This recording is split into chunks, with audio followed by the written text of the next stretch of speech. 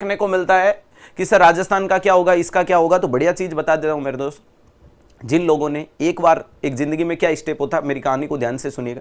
अपन सीढ़ियाँ चढ़ते हैं। मान लीजिएगा मैं सीढ़ियाँ चढ़ रहा हूँ, सर, जैसे कि आप लोगों ने राजस्थान सीएचओ की सीढ़ियाँ चढ़ी। सर, हमने 100 सीढ़ियाँ चढ़ी और 100 सीढ़ियों से हम फिसल करके गिर गए। तो ध्यान रखिएगा, जब तुमने, तुम्हारी मेहनत से अगर 100 सीढ़ियाँ चढ़ी और तुम अगर फिसल के गिर गए ना तो तुम नेक्स्ट बार भी चढ़ जाओगे। तुम्हें कोई रत्ती पर टेंशन लेने की आवश्यकता नहीं है। इस बार भी तुम तुम्हारी मेहनत से सोच सीढ़ियाँ चढ़े थे। अगली बार, इस बार फिसल गए तो अगली बार फिर चढ़ जाओगे, कोई दिक्कत नहीं है। लेकिन जो बंदे इस बार गलत तरीके से, जो लिफ्ट के माध्यम से ऊपर चढ़े और जिनकी लिफ्ट ऊपर से नीचे गिरी है ना, वो नेक्स्ट टाइम सीढ़ियों से नहीं चढ़ पाएँगे, ये मेरी गारंटी है। क्लियर है? आप लोगों ने अपनी मंजिल तक अपने कदम बढ़ा बढ़ा के चला है। तुमने रोज़मर्रा ज़िंदगी में एक एक कदम बढ़ाया। राजस्थान सीएचओ की तरफ़ तुम कैसे बढ़े हो? सर हम राजस्थान सीएचओ की तरफ़ यूँ बढ़े थे। यहाँ से तुम चढ़ना शुरू हुए थे, यहाँ से तुम चढ़ना शुरू हुए थे मेरा भाई, और ध्यान रखिएगा, तुम यहाँ तक चढ़े थे। और भैया जी, जिसमें हाँ कुछ फेलियर कंडीशन होने के कारण जो आपका पेपर आउट है या नहीं है, अभी तक कोई फाइनलाइज डिसीज़न नहीं हुआ, तुम लोग यहाँ से फिसल के यहाँ वापस आ गए। तो ध्यान रखिएगा मेरे भाई, जो पहली बार यहाँ से यहाँ जा सकता है, वो दूसरी बार भी जा सकता है, उसे किसी माइकल लाल में औकात नहीं है जो रोक लेगा। जो इस बार गलत तरीके से वहाँ पर चढ़े, इस बार जो गलत तरीके से, सर, जिन्होंने यहाँ लिफ्ट लगा लगा करके यहाँ से चढ़ने की कोशिश की थी। जिनकी लिफ्ट डायरेक्ट गई है, वो जब नीचे गिरेंगे तो वो वापस किसी भी हालत में, कोई औकात नहीं है उनकी वापस चढ़ जाए। क्योंकि ध्यान रखिएगा, गलत रास्ता होता है, चोरी का माल मोरी में जाता है, किसी भी हालत में वो वापस नहीं चढ़ पाएँगे। जिन्हें अपने कदमों की काबिलियत पे विश्वास होगा, वो डेफिनेटली जाएँगे, और तुम कर सकते हो। क्लियर ध्यान रखिएगा, अपने अपने ऊपर विश्वास करें कि, सर, पिछली बार भी मैंने ही तो निकाला था। अरे, पिछली बार किसी ने मदद थोड़ी की थी तो नेक्स्ट बार फिर निकालूँगा। इस बार नहीं, इस बार, अब की बार। हाँ सिलेक्शन पार। तो इस बार सिलेक्शन निकाल के दिखाएँगे तो घबराने की कदाचित आवश्यकता नहीं है। लोग टोकते रहेंगे और ध्यान रखिएगा, कुत्ते के भौंकने से क्या रास्ता चलना छोड़ देते हैं क्या अपन? नहीं तो ध्यान रखिएगा, हमेशा ज़िंदगी के अंदर बेहतर से बेहतरीन की तलाश में निकलना है। अपने आप को खुद को रोकना नहीं है। हालातों की धमकियों से नहीं डरना है। लोगों के रूमर्स क्रिएट करने से नहीं डरना। उन्हें बोलना कि पिछली बार भी मेरी औकात थी, इस बार मेरी औकात रहेगी, इस बार मेरी आग और बढ़ गई है। इस बार मेरी आग और बढ़ गई। आप लोगों ने अगर क्रिकेट का मैच देखा होगा, लड़के सारे देखते हैं, लड़कियों का पता नहीं। सचिन तेंदुलकर नाम ज़रूर सुना होगा। सचिन तेंदुलकर वो शख्सियत थी मेरे दोस्त, जब भी उसे स्पेशल नल्ला पाकिस्तान का जब मैच होता था तो उनका एक ही टारगेट होता कि सामने वाले को डिस्ट्रैक्ट कर दो, क्योंकि इनकी इतनी औकात नहीं है कि उन्हें आउट कर दे। वो एकमात्र क्या करता था कि डिस्ट्रैक्शन पैदा करो, इसे गुस्सा दिला दो, इसे फ्रस्ट्रेट कर दो कि यह जल्दबाजी के चक्कर में आउट हो जाए। लेकिन सचिन वो शख्सियत थी, जब इसीलिए इसे क्रिकेट का भगवान बोला जाता है। ठीक है, उन्हें जब भी बोला जाता था, उनका बैट के माध्यम से जवाब होता था। तो तुम लोगों को जो आज ताने दे रहे हैं, तुम लोगों को जो आज ये हिदायतें दे रहे हैं, उन्हें बोलना कि सब रखो, मैं नहीं, मेरा परिणाम बोलेगा, आज नहीं तो कल बोलेगा डेफिनेटली बोलेगा, डंके की चोट पे बोलेगा। किसी माई के लाल में इतनी औकात नहीं है जो मेरे संघर्ष संघर्ष को दुनिया सलाम करती है, संघर्ष कभी दबता नहीं है मेरे दोस्त। और न तो किसी के कहने से संघर्ष बढ़ता है, न किसी के कहने से हटता है। जो एक्चुअल में मेहनत करेगा, उसका परिणाम बोलेगा। तो दो चीज़ें ज़िंदगी में कंपटीशन के दौर में मार्केट में सबसे ज़्यादा चलती है। एक तो दिखावापन और दूसरी मेहनत। आप मेहनत पर विश्वास कर लेना शॉप मत करना। आपका परिणाम बोलेगा। आपको यह किसी को बताने की आवश्यकता नहीं है, मैं सोलह घंटे पढ़ता हूँ, कोई एहसान नहीं करते। अगर सिद्धार्थ सोलह घंटे मेहनत करता है तो किसी के ऊपर एहसान नहीं कर रहा वो खुद के लिए मेहनत कर रहा है। वो जी जान लगा करके मेहनत कर रहा है तो उसका परिणाम बोलेगा डेफिनेटली बोलेगा। तो आप सभी विद्यार्थियों से निवेदन है, आप सामने वाले को यह शो ऑफ़ नहीं कर कि मैं आठ घंटे, दस घंटे, बारह घंटे, सोलह घंटे, सत्ताईस घंटे पढ़ता हूँ। नहीं, मेरे दोस्त, अगर तू चार घंटे पढ़ रहा है तो तेरे लिए पढ़ रहा है, तू नहीं पढ़ रहा है तो तेरे लिए नहीं पढ़ रहा है। और अगर तू सोलह घंटे पढ़ रहा है तो तेरे लिए पढ़ रहा है, लेकिन दुनिया क्या देखेगी, सिर्फ़ परिणाम देखेगी। और आप डिफेंस मैकेनिज्म कोई काम में मत लेना, ज़िंदगी में कोई सांत्वना काम मत लेना। जब जब तुम्हें सहानुभूतियाँ पसंद आना शुरू हो गई ना तो फिर सिलेक्शन दुनिया के किसी भी कोने में नहीं है।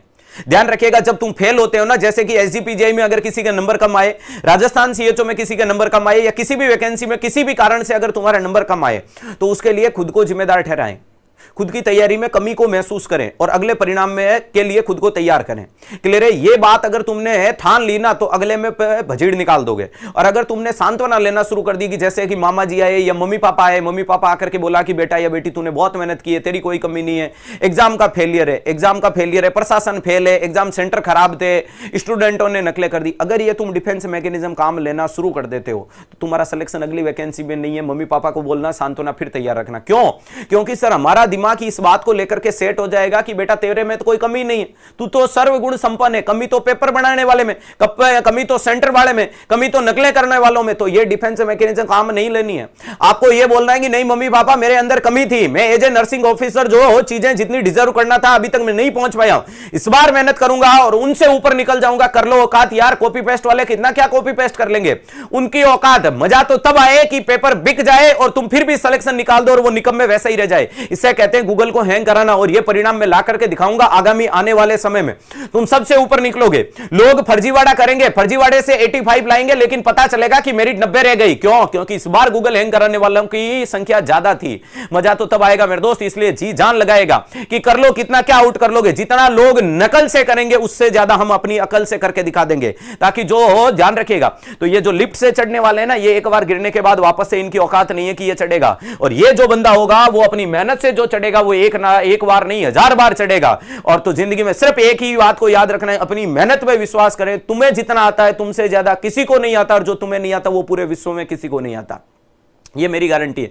दूसरा डिफेंस मैकेनिज्म काम नहीं लेना है। परिणाम ऊपर नीचे कुछ भी आता है, फ़िक्र भी नहीं करनी है, उससे सीखें, समझें, परखें और अगले में काबिलियत को और ज़्यादा डेवलप करने की कोशिश करें, ताकि अगले वैकेंसी में सिलेक्शन निकलेगा। और जिस दिन सहानुभूतियाँ, ये रिश्तेदारों की पीठ थपथपा करके बोलना कि बेटा तेरे अंदर कोई कमी नहीं है, उन्हें बोलना कि अभी तो कमी है, नर्सिंग ऑफिसर बनूँगा, तब कोई कमी नहीं होगी। ये डिफेंस मैकेनिज्म काम लेना बंद कर दोगे, उस दिन मेहनत करोगे, कमियाँ पकड़ोगे, सिलेक्शन निकलोगे। खुद का नेगेटिव पॉइंट पकड़ लेना दुनिया का सबसे बड़ा पॉजिटिव पॉइंट होता है। और वो बहुत बड़े कलेजे वाले लोग होते हैं जो खुद के अंदर कमियाँ ढूंढते हैं कि मेरे अंदर ये छोटी सी कमी देखने को मिली है और मैं इस कमी को दूर करूँगा और भगवान में भी कमियाँ होती है। कमियाँ ऐसी बात नहीं है कि किसी में नहीं होती है। बस उसे दूर करो, उसे मानो और दूर करो कि, सर, क्या बात हो गई? भाई, कमी स्टूडेंट लाइफ में सब फेल होते हैं और नेक्स्ट फेल होने के लिए घबराना नहीं है। तुमने फॉर्म भरा इसलिए तुम फेल हो रहे हो। जो एसी पीजीआई में जिनके ऊपर नीचे नंबर आ रहे हैं, तुम्हें कदाचित घबराने की आवश्यकता नहीं। तुम काबिलियत रखते हो, तुमने फॉर्म भरा है, तब तुम्हारे नंबर कम आ रहे वरना तुम्हारे मम्मी पापा के एसी पीजीआई में कम आए क्या? मेरे मम्मी पापा के एसी पीजीआई में कम आए क्या? नहीं आए? क्यों? उन्होंने फॉर्म ही नहीं भरा।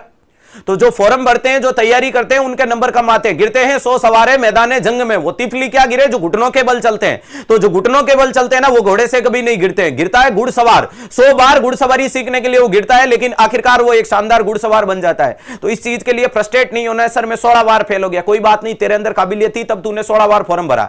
सत्रह बार तूने फॉर्म भरा है। सत्रह नहीं, अठारहवीं बार। अब की बार आर पार। और हर एक पेपर आपका ज़िंदगी का पहला पेपर होता है, आखिरी पेपर नहीं होता। आखिरी पेपर सिलेक्शन वाला होता है। तो अपने जोश जुनून, अपने कॉन्फिडेंस को बरकरार रखना और पड़ोसी को बोल देना कि मत कर परवा, तू आज उनकी जो तुझे देते हैं ताना। अरे, झुका देंगे ये सर जब आएगा, तेरा जमाना लहरें बन जाए, तूफ़ान, कश्ती का काम है बहना। और कुछ तो लोग कहेंगे, लोगों का काम है कहना तो लोगों की परवाह नहीं करनी है। लोग तुम्हें भी बहुत बोलते हैं, हमें भी बहुत बोलते हैं डबल मोटिवेशन पैदा करें और मुँह तोड़ जवाब दें। युवराज सिंह ने छह छक्के लगा करके मुँह तोड़ जवाब दे दिया था। सचिन, रमेश तेंदुलकर ने दोहरा शतक लगा करके मुँह तोड़ जवाब दे दिया था। एक ओवर में छह चौके लगा करके मुँह तोड़ जवाब दे दिया। बॉल को स्टेडियम से बाहर डाल करके मुँह तोड़ जवाब दे दिया था। बस एग्जामिनर को उसकी औकात दिखाना है। तो अब की बार इतने शानदार नंबर लाएँगे कि वो सोच सोच के मर जाएगा। तो टेंशन नहीं लेनी है मेरे दोस्त, जो बंदे हैं, फुल कॉन्फिडेंस में रखो।